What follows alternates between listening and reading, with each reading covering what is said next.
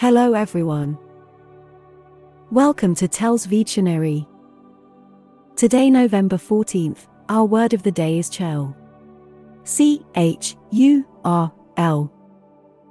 Churl. Churl is a five-letter word and a noun.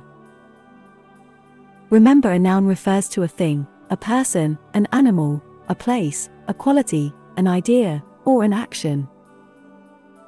Churl is a rude or nasty person. The basketball player who's constantly jabbing opponents with his elbows and deliberately tripping them is a churl. Similar words include beast, clodhopper, oaf, provincial, rustic, tightwad, miser, chuff, mucker, peasant. Examples of sentences using churl are He is a drunken brawling perilous churl, as you may find to your cost. A man may value what is his own without being a miser or a churl.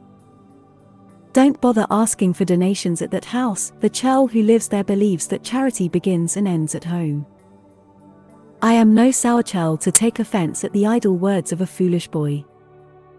The two monks nodded their heads to show that what the churl said was true. He must have had some ups and downs in life to make him such a churl. Make sure to save this new word, churl, so you can practice using it in your everyday sentences.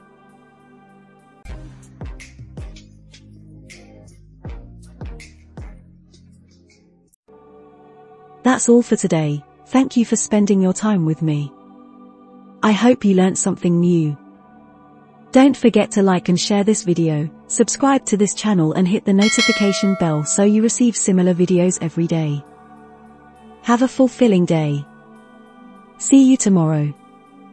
Cheers.